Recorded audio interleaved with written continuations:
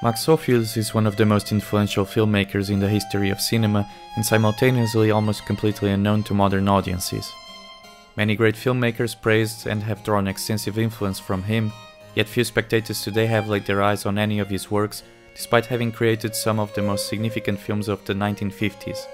To refute any accusations of overstatement and to exemplify just how relevant his work really is, one shall say that it is fair to assert that filmmakers such as Martin Scorsese, Brian De Palma,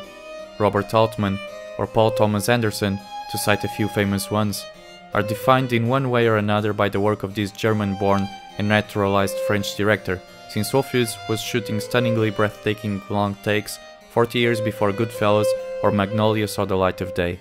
Working in the same golden decades representative of some of cinema's most exceptional achievements, Ophuls is a prime example of a select group of cinema's finest avant-garde filmmakers someone who pushed the envelope and thrusted the art of film to heights unseen until then. His love for carefully constructed and dynamic long takes places him side by side with masters of the same era with similar propensities such as Dreyer, Mizoguchi, Renoir,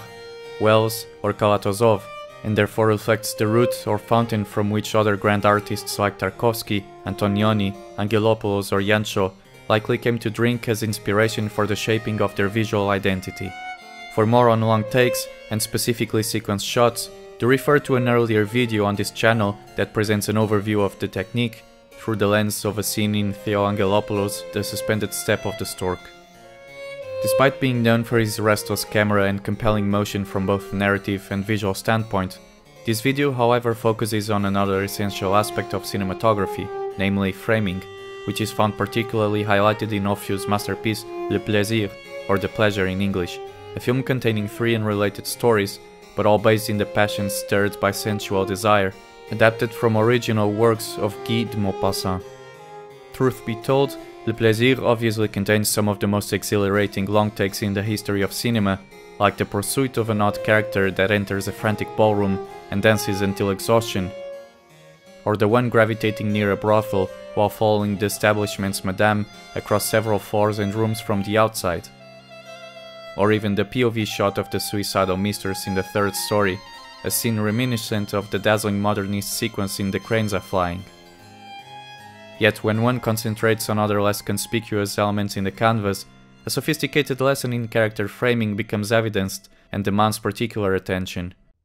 This singular characteristic, perhaps for some just a curious trait of a bygone era or a simple stylistic trick, the one would classify it as an extremely gratifying one nonetheless, has all but vanished in the modern filmmaking approach, one which relies on conventional structuring of visual pieces through the employment of the typical shot reverse shots, close-ups, and shallow focus, while rarely resorting consistently to variations like two shots and wider, more encompassing shots, as well as deep focus.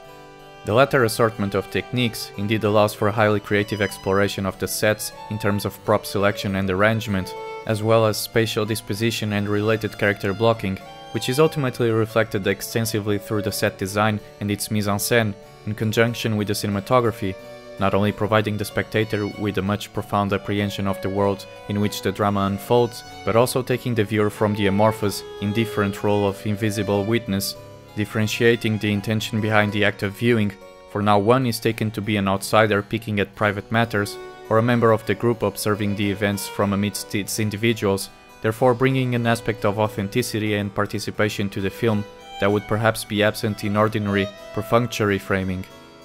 In Le Plaisir, the viewer will oftentimes be placed in a fashion that allows the action to unravel within the physical framework of the scenario, with both its natural and artificial constructions, as the environment is displayed organically entwined with the characters, cementing the atmosphere of the film as a fully coalesced representation. The spectator therefore stands often in a position which considers and attempts to evoke his physical presence in the world in which the film develops, leading him to behold the characters enclosed by the windows and Venetian blinds of an apartment, or by the road and trees proliferating the countryside, or by the furniture, paintings and homely elements that decorate an habitation, or by the people gathered in merry excitement in a friendly meeting. Perhaps the most iconic of these instances is a deceptively simple shot which showcases two of the greatest French actors of the era, Jean Gabin and Danielle Darrieux, woven together in an atmosphere of unspoken romanticism, but of clear joy nevertheless, amidst the sprouting leaves of grass in a pastoral setting. In Le Plaisir, the locations are not simply a vague, indistinct, passive representation of the film's backdrop as in most movies, but instead a clear, thought out scenery passible of being taken advantage of for the purpose of constructing a simultaneously dynamic and engaging world.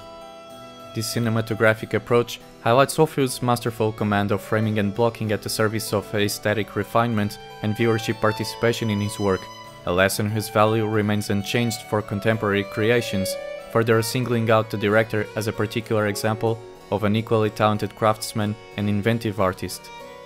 In an age where most movies are distinguished by how spectacular their multi-million dollar visual effects are perceived and how successful they are at transforming reality from a green screen, one can be sure to find a replenishing and still surprising degree of ingenuity amid informal settings in much smaller productions of limited means, in which apparently tiny details carry great significance and much is achieved with little, without strident rattle nor jumbled visual motley. Make sure to check Ophuls' filmography if the directors named earlier are part of your preferences, and if you wish to explore some truly outstanding examples of creative and groundbreaking cinematography that are rarely commented or even mentioned in contemporary film dialogue. La Ronde, Le Plaisir, The Earrings of Madame de, and Lola Montès are all superb examples of cinematographic brilliance and are all available through Criterion's film catalog. Stay tuned for more insights into cinema's unfairly forgotten masterpieces and other film related content from all over the world. Thank you for listening and see you next time.